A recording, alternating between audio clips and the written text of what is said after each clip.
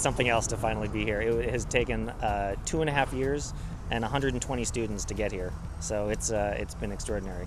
Our building is called CHIP. It's it stands for Compact Hyper Insulated Prototype. So the insulation in that name says it all. It's that's a huge component of the building.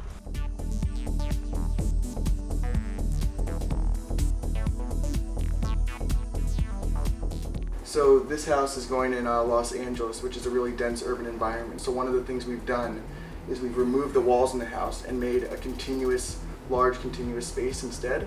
And we've divided up the levels of the house by putting things higher than others. So the wall behind us is entirely programmable and the furniture is designed entirely by students and it literally pops out, it's foam, it's very light to handle and move around the house to be able to use the house for different things. Um, the shelves pop off and you can put them wherever you want to customize it. Um, one of the most interesting things is we have a lot of really fun ways to interact with the house. We built an iPad application where you can just click on the items, the devices that you want to turn on and off.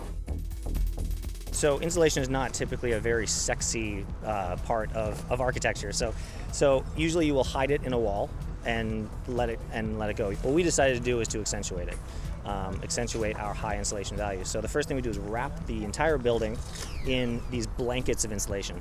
Uh, they're made out of, of, denim, recycled blue jeans, essentially.